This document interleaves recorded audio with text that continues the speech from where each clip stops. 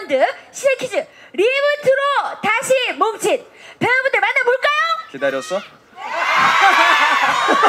신의 퀴즈에서 한진우 역할을 맡은 류덕환입니다. 반갑습니다. 한진우의 여자친구이자 열혈 여형사 강경희 역을 맡은 윤주입니다. 반갑습니다. 소장 박준면이고요. 여러분 너무 보고 싶었습니다. 매력적인 남상복 형사 역을 맡은 배우 김기둡니다 반갑습니다. 얼마 남지 않았거든요 첫 방까지 지금 굉장히 떨리는 마음을 감출 수가 없을 것 같은데 어떠세요 기분이? 어, 기대가 많이 되고요. 진짜 긴장 많이 돼요. 어, 긴장돼요? 예, 군대 갔다 와갖고 그런지 4년 만에 찾아뵙는 만큼 네. 더욱 더 발전된 좋은 모습으로 보여드릴 수 있는 마음에 긴장이 많이 되고요. 기다려주신 만큼 더 많은 사랑 해주셨으면 감사하겠습니다. 시즌 1 하고 잘릴 줄 알았더니 이게 웬일인지 이게, 아유. 정말 원년 멤버들하고 같이 할 수 있어서 너무 좋고 이렇게 또 기두 배우도 같이 할 수 있어서 너무 좋고 여러분 행복한 밤입니다. 네. 김기도 배우 님은 어떠세요? 약간 텃세 있지 않아요? 텃세는 없고요. 어. 네, 너무너무 잘해주시고 그리고 시리즈물에 합류하게 돼서 너무너무 행복하고 감사한 마음뿐입니다. 본격적인 시작을 해보도록 하겠습니다. 왜 하필 신의 퀴즈 리부트인가? 사실 이 신의 퀴즈 시리즈가요 한국 드라마 사상 유례 없는 일을 만들어냈습니다. 뭔지 아세요, 리덕환 씨? 여러분들 청와대 국민청원 들어보셨죠? 신의 퀴즈 청원이 더 무섭습니다. 다섯 번째 이야기가 이렇게 만들어지게 된 결정적인 일을 한 것이 바로 여러분들이라고 들었어요. 한 분 한 분씩 어떤 역할을 맡았는지 저는 초천재고요. 네, 시즌 4를 이끌어왔고 이제 5를 새롭게 시작하는 인물이고 강경희 형사를 만나면서 어, 조금 더 성숙해지고 또 사랑도 알게 되는 멋진 의사 역할을 맡았습니다. 어 진짜 어떻게 이렇게 잘생겨졌대? 아니 원래도 잘생겼는데 나 지금 약간 옆에서 미치겠어 신랑 생각이 안 나요 제가 드디어 팀장으로 진급이 됐고요. 팀장 뭐 기다려. 아니 다 내일 같아 그죠? 결정적으로는 저는 음, 한진우의 여자친구인 열혈 여영사입니다. 왜 이렇게 달달해 그죠? 당 떨어질 텐데 지금 당 충전 완전 됐어 예. 저는 뭐 그 소장이죠. 뭐. 강 팀장님이 이렇게 진급하시면서 제가 그 밑으로 발령받아서 왔습니다.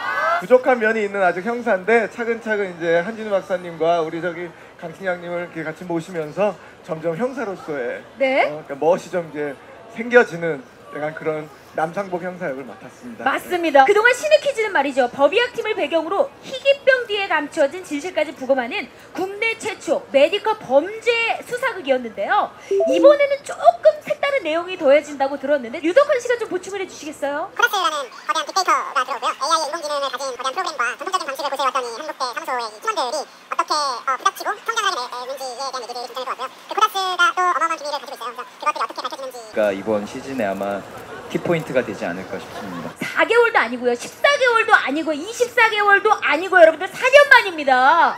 4년 만에 물론 우리 김기도 배우님도 함께하게 됐지만 세 분이 이렇게 쭉 또 함께 온다는 게 이게 쉽지가 않은 일이거든요. 세 분도 또 김기도 배우님도 기다리셨나요? 그럼요. 그러니까 항상 퀴즈는 자꾸 마음속에서 찾게 되기도 하고 또 그 와중에도 두려운 것도 있어요. 기대가 많은 만큼 실망을 보여드리면 안 된다라는 생각 때문에 근데 그만큼 이번 시즌이 들어갔다라는 건 저희가 준비도 많이 했고 재미있는 이야기를 가지고 왔으니까 기대를 많이 해주셨으면 좋겠습니다. 저도 신의 퀴즈 팬이거든요. 제가 출연하고 있지만 말 잘한다.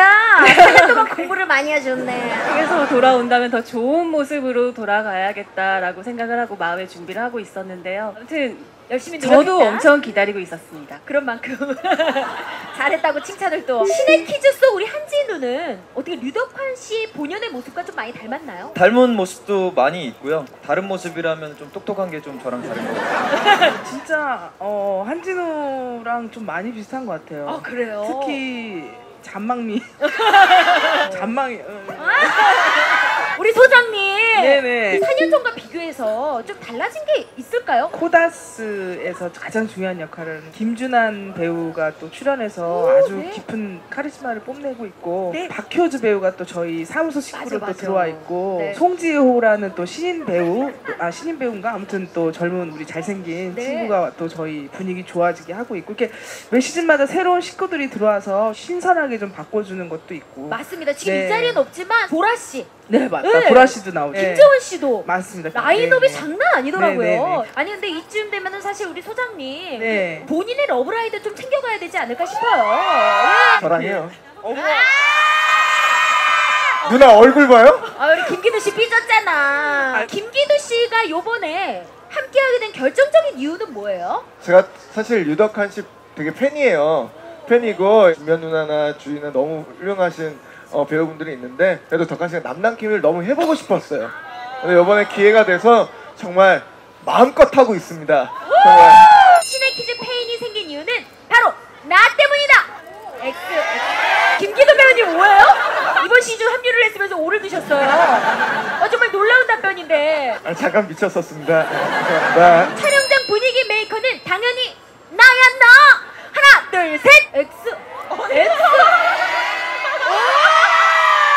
인사말부터 사실 나 소장 이러면서 벌써 빵빵 터뜨리셨거든요. 제가 치네 퀴즈를 30대 한 중반에 시작해갖고 지금 또 40대 중반이 됐거든요. 장 교수님이 계셨을 때 중간 위치에서 지금 고참이 된 거예요. 각 잡으면 좀 재수 없잖아요. 그래서 좀 편안하게 이렇게 하다 보니까 제가 분위기 메이커 맞습니다. 아하! 김기두 배우님도 굉장한 유행어가 있다고 들었는데. 제 건 아닌데 어, 그래요? 제가 주로 많이 쓰고 있습니다. 그냥 기다렸어? 뭐 밥 먹었어? 어. 류덕환 씨한테도 해요. 기다렸어?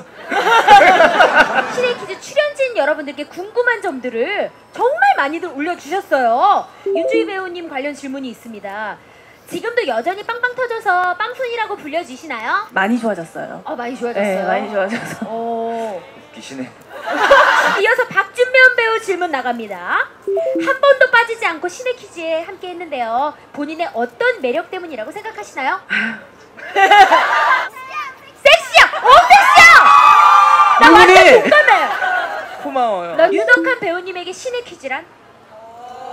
배우라는 수식어를 저는 조금 아직 부끄러워하는데 네. 그래도 조금 용기를 주는 작품인 것 같아요. 인생작 중에 하나라고 생각해요. 어, 네. 네. 다시는 이런 작품을 못 만날 거고 오! 그러면은 이 신의 퀴즈가 무엇을 의미하는지 우리 모든 배우분들께 한번 여쭤볼게요. 시네키즈와 함께 같이 성장을 했기 때문에 가족 같다라는 생각이 많이 들어요. 어, 가족 같다. 얘 네. 발음 조심해죠. 가족 같다. 저희가 이제 되게 열악하게 시즌 1을 시작했거든요. 촬영 스텝도 막 너무너무 지금 좋아지고 저도 지금 시즌 리부트는 굉장히 부유하게 찍고 있어요. 오! 네. 아, 신의 퀴즈가 진짜 이번에 잘 될 수밖에 없다. 모두 이 배우분들이 만들어 주신 겁니다. 전 신의 퀴즈와 같이 성장하려고요. 이제 앞으로 시즌 6, 7, 덕환 씨 부탁해요. 시청자 여러분들이 신퀴를 꼭 봐야 하는 관전 포인트를 마지막으로 하나씩 짚어주시죠. 퀴즈가 이번에 리부트라는 부제를 넣은 이유는요. 새로운 각오로 임한다는 것도 있고 이야기 자체도 구조도 많이 바뀌고 한 에피소드가 들어오더라도 여러 가지 사건들이 있고 볼거리도 굉장히 많아졌고요. 제가 이번에 하는 한진우가 낯서신 부분도 있으실 거고 굉장히 반가운 부분도 있으실 거예요. 그래서 그런 부분들을 조금 더 재밌게 봐주신다면 즐겁게 볼 수 있지 않을까 싶습니다. 11월 14일 날 방송하니까 꼭 어, 본방사수 해주셨으면 좋겠습니다. 감사합니다. 네, 고맙습니다. 신의 퀴즈. 신의 퀴즈 많이 사랑해 주시고 저희들도 열심히 촬영에 계속 임하겠습니다. 네, 여러분 정말 감사합니다. 사랑합니다. 고맙습니다. 지금까지 신의 퀴즈 리부트 주역 사인방이었습니다.